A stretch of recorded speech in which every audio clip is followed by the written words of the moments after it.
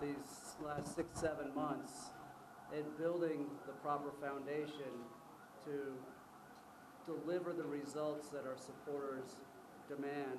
And in case you haven't been watching what's happened, we haven't had a league to play in. And so it's given us an opportunity to put more and more of those structures in place.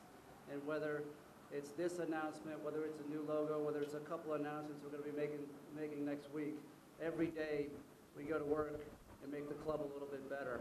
And you're gonna see that on the field, you're gonna see that off the field. And the people who know football know what we're doing. And so, to the, the critics, you know, they can, if they, if they've got valid opinions that can make us better, but for the most part, the people who understand are fully behind us. Thank you.